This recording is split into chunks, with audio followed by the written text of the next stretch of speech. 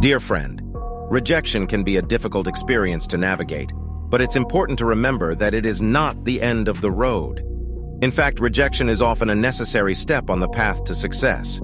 Think of all the great accomplishments in history that were achieved only after multiple rejections. J.K. Rowling's Harry Potter series was rejected by numerous publishers before finding a home, and Albert Einstein was told he would never amount to anything. Yet they persevered, and their persistence paid off. So don't let rejection discourage you. Use it as a motivation to keep going, to work harder, and to strive for better. Take the feedback you receive from rejections and use it to improve yourself, your work, and your approach. Remember, rejection is not a reflection of your worth or potential. It is simply one person's opinion or decision, and there are always other opportunities and avenues to explore. Keep pushing forward, believe in yourself and your abilities, and don't let rejection define you. You have the power to overcome it and emerge stronger and more determined than ever before. Rejection can be a tough pill to swallow, but it's important to remember that it's not the end of the world. Here are some tips to help you stay motivated and move forward after facing rejection.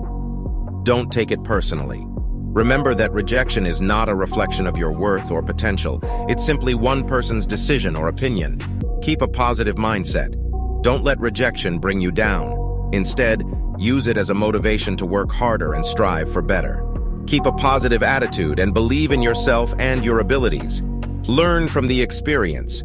Use rejection as an opportunity to learn and grow. Take the feedback you receive and use it to improve yourself, your work, and your approach.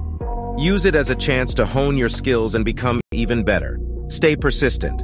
Remember that rejection is often a necessary step on the path to success.